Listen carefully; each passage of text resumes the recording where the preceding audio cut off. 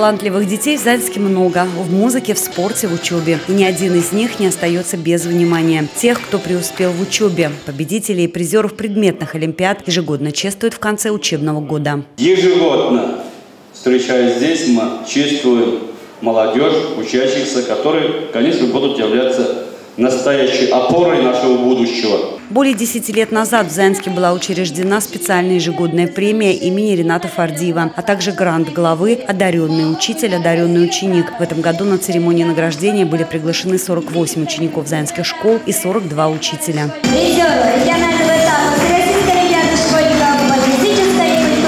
Впервые призером Олимпиады я стала только в 11 классе, и до этого э, ни разу ничего подобного не было, поэтому э, эта победа была такой желанной, такой долгожданной. Обладателем специальной ежегодной премии имени Рената Фардиева стала ученица 10 класса школы номер 4 Мария Устимкина. Премию вручили директору школы Альбине Лариной. Спортсменка в это время была на очередных соревнованиях. Также на церемонии были вручены благодарственные письма.